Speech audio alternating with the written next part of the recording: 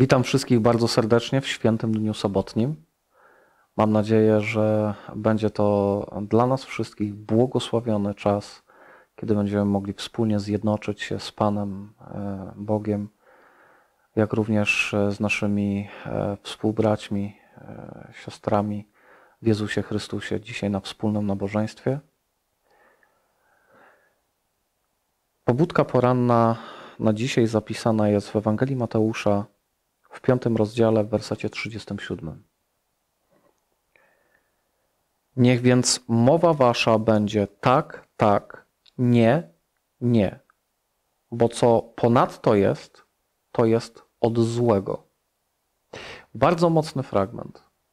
W tym tygodniu dużo mówiliśmy na temat mowy, ale ten bardzo dobitny, dosadny sposób podsumowywuje cały ten tydzień.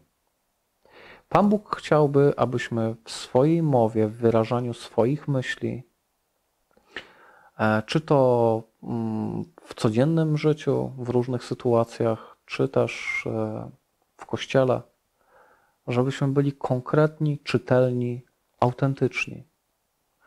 Abyśmy nie byli ludźmi pięknej mowy, którzy potrafią w sposób cudowny przemawiać, poruszająco, porywająco przedstawiać pewne treści, ale za tym nie idą nasze czyny.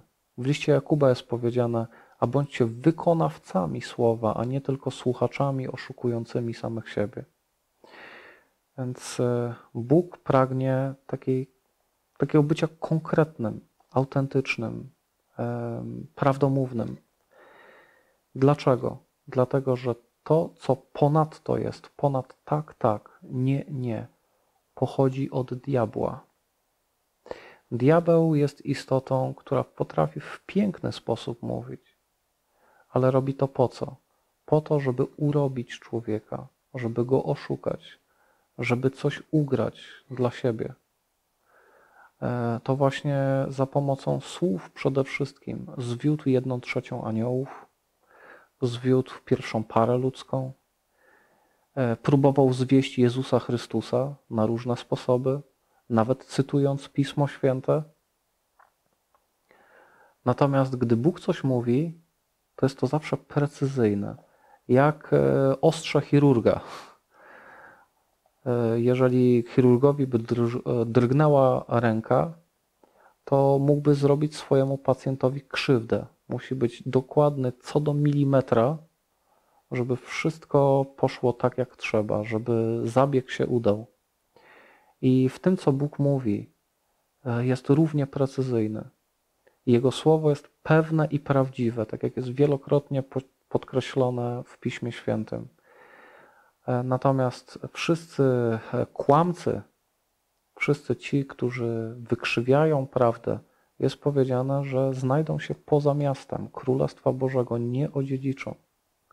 To jest bardzo, bardzo poważna kwestia. Dlatego, że na podstawie naszych słów będziemy albo usprawiedliwieni, albo też e, zniesławieni przed Bogiem. Biblia mówi o tym wyraźnie. Pan Jezus to podkreślał wielokrotnie. Dlatego tak ważne jest to, abyśmy potrafili wyrażać swoje myśli w sposób, który uwielbi Pana Boga. E, również dzisiaj będziemy mieli okazję dzielić się za pomocą słów swoim doświadczeniem z Panem Bogiem, wysłuchać kazania. E, będziemy mieli okazję wymienić się też pewnymi przemyśleniami związanymi z Pismem Świętym. E, chciałbym życzyć nam wszystkim, abyśmy robili to w odpowiednim duchu, z odpowiednim nastawieniem. Abyśmy nie chcieli w żaden sposób przypodobać się ludziom za pomocą tego, co będziemy mówili, w jaki sposób będziemy się wypowiadali, ale przede wszystkim, abyśmy mówili słowa płynące z serca, słowa, które świadczą o naszej autentycznej więzi z Bogiem i chęci zbudowania drugiego człowieka, zachęcenia go do tego, żeby on również mógł doświadczyć podobnych rzeczy, jakich my doświadczamy. Niech e, ten święty sobotni dzień będzie wyjątkowym czasem społeczności z naszym Panem Jezusem Chrystusem i z drugim człowiekiem. Pomódlmy się na koniec. Panie Boże, ukochane, w naszych słowach, w naszych myślach, w naszych czynach chcemy na wszelkie możliwe sposoby świadczyć, że jesteśmy dziećmi światłości, a nie ciemności, że jesteśmy Twoim ludem, Twoją własnością, Twoimi naśladowcami. W tym tygodniu wielokrotnie zwracałeś naszą uwagę na to, jak ważną kwestią jest to, co wypowiadamy, do kogo i w jaki sposób. Prosimy Ciebie, Panie Boże, abyśmy czy to w relacji z Tobą, czy w relacji z innymi ludźmi, zawsze mogli wysławiać Twoje imię i wypowiadać słowa, które są święte, które są czyste, które są budujące. Niech wszelkie plugawe słowa, plotkarstwo, obmowa, przekleństwa i wszystkie inne niewłaściwe sposoby używania naszej mowy, żeby mogły zostać usunięte z naszego życia.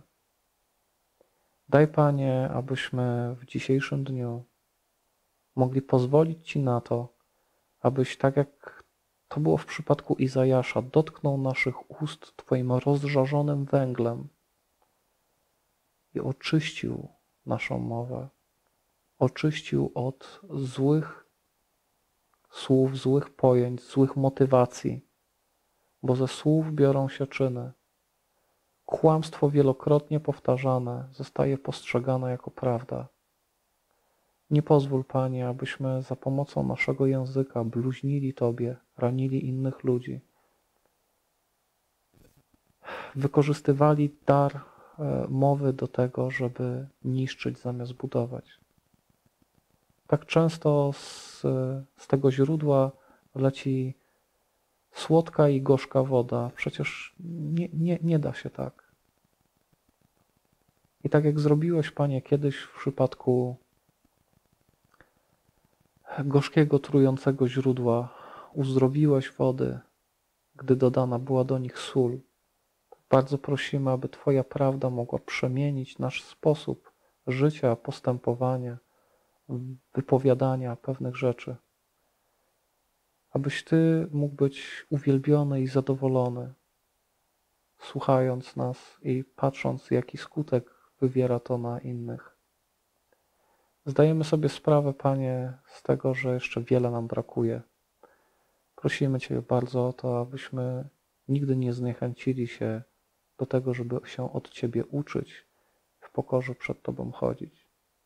Polecamy się Tobie na ten sabat i prosimy, aby każdy z nas po dzisiejszym nabożeństwie mógł wyjść ubogacony, zbudowany, z poczuciem życia w Twojej obecności. W imieniu Pana Jezusa Chrystusa. Amen. Błogosławionego sabatu życzę wszystkim. E, uprzejmie też proszę, abyście pamiętali o nas, abyście korzystali z naszego kanału YouTube, lajkowali filmy, zostawiali komentarze. Widzimy się w następnym odcinku. Do zobaczenia. Cześć.